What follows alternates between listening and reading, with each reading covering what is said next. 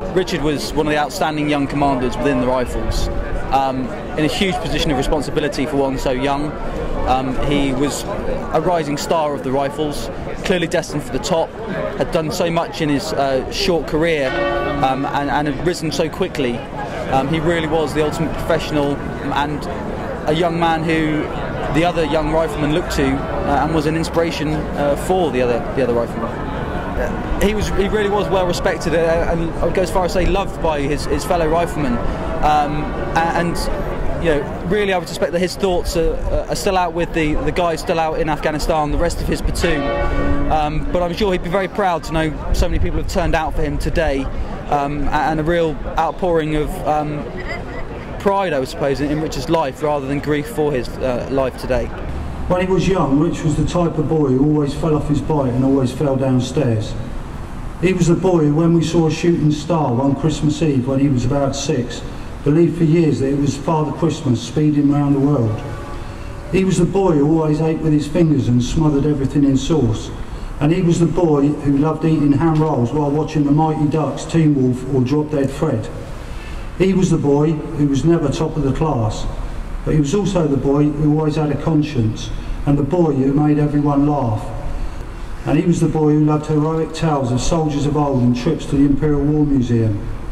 And that boy became the man who was determined to make something of his life, determined to make a difference somewhere, somehow.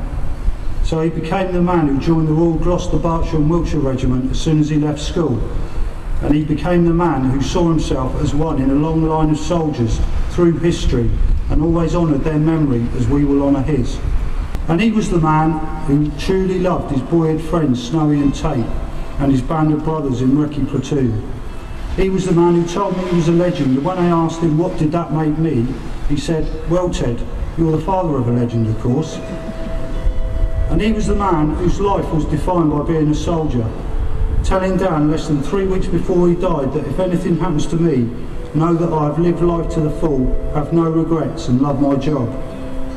That was my son, and we are so proud of him.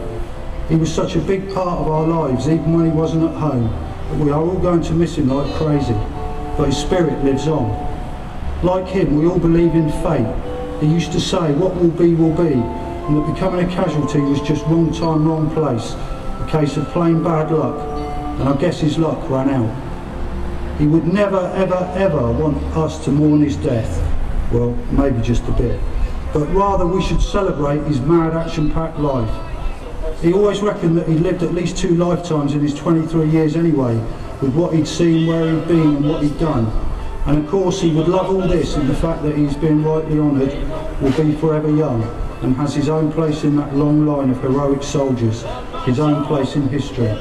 Buddy, I'm proud to say that now you are that legend you told me you were, and you always will be.